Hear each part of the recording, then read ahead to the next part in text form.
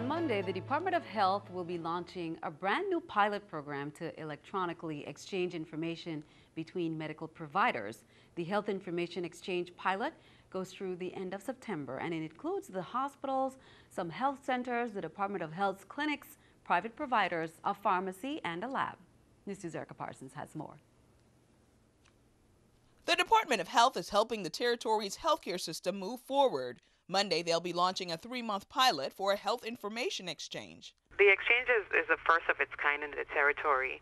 While there's some small networks provided by, for example, the hospitals to their affiliated providers, this exchange allows all the providers in the territory to exchange patient information. The department's Health Information Technology Division has been working for some time with Secure Exchange Solutions to develop the system that can share information faster, help with transition care, and even lower costs for providers. The project is designed to ensure that every provider has at least one option for health information exchange that meets the requirements of the Medicare and Medicaid electronic health record incentive programs. So while participation is not mandatory, Providers who have adopted an EHR and wish to recoup a portion of the cost need to electronically exchange data in order to qualify for the incentive payment.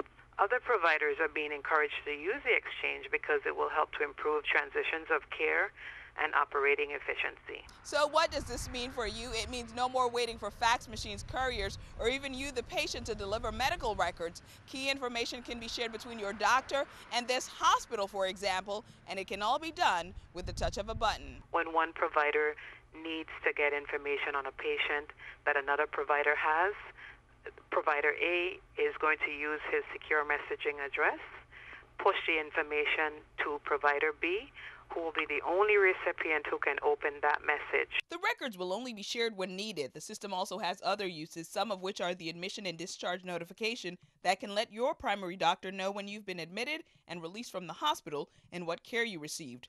The required communicable disease reporting and immunization reporting are two more examples. Providers who want to participate in the exchange will need to register with the Health Information Technology Division at the Department of Health. Erica Parsons, News 2. The new system will also allow the information to be shared with national healthcare providers. Providers who want more information can contact Kevin Hodge at 715-5101 or Kathleen Greenaway at 773-1311 extension 4226. The Office of Veterans Affairs will be hosting a series of seminars for veterans and their family members this month on post-traumatic stress disorder or PTSD awareness. Acting Director Harry Daniels said the disorder is medically recognized. It can develop from seeing or experiencing an event that involves actual or threatened death or serious injury to which a person responds with intense fear. It is not uncommon among veterans. That be held on June 24th, 6.30 p.m. at the Julius Brown School on St. John. June 25th, 6.30 p.m. at the Patrick U. George American Legion Post 90. That's in Sub-Base St. Thomas. And then on June 26th, 6.30 p.m. as well at Bromley Berkeley American Legion Post, number 133 in Frederiksted, St. Croix. Well, if you have one handy, you know it has been very successful and helpful. The Directory of Community Organizations Serving the U.S. Virgin Islands, CFVI, is currently preparing to publish an updated 2013 to 2015 edition. Nonprofit organizations can ensure they are included in the directory by filling out the form that can be found on their website. Also, the 13th annual USVI Kids Count Data Book was launched today during the Children and Families Council meeting at Government House in Christiansted St. Croix. The child-focused data reports provide crucial information on the state of the territory's children from birth to 18. Lawmakers receive data and proven policy solutions from CFVI. Well, iPods, MP3s, earbuds, how much damage could these cause when it comes to hearing?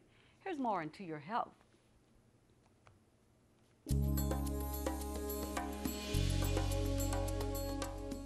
They're everywhere. Personal audio devices. Millions are plugged in. But can they hurt your hearing? There certainly are levels that are safe for long periods of time, but uh, that can quickly change as the level goes up. Mayo Clinic audiologist Lindsay Wagner tests personal audio device volume levels in her office so people can be sure the levels are safe. Might tickle a little bit here. Dr. Wagner is concerned about two things how loud the volume is Pretty loud. and how long you listen at that level. 50% on that volume wheel you can wear safely all day long if you wanted to, but if you go up to, let's say, 60 or 70% on your volume wheel, depending on the system that you're using, maybe you'd only be able to wear that safely for four hours. That's because as volume levels go up, the amount of time you should wear the device goes down dramatically. This reading shows an average volume of 97 decibels. I see that she can wear that for only about 30 minutes before uh, putting her hearing at risk. What happens to your ears is this music goes in through the eardrum to the middle ear bones and then to the inner ear, which is lined with tiny hair cells.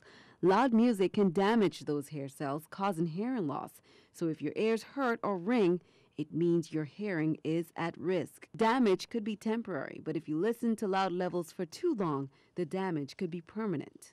It won't make you go completely deaf.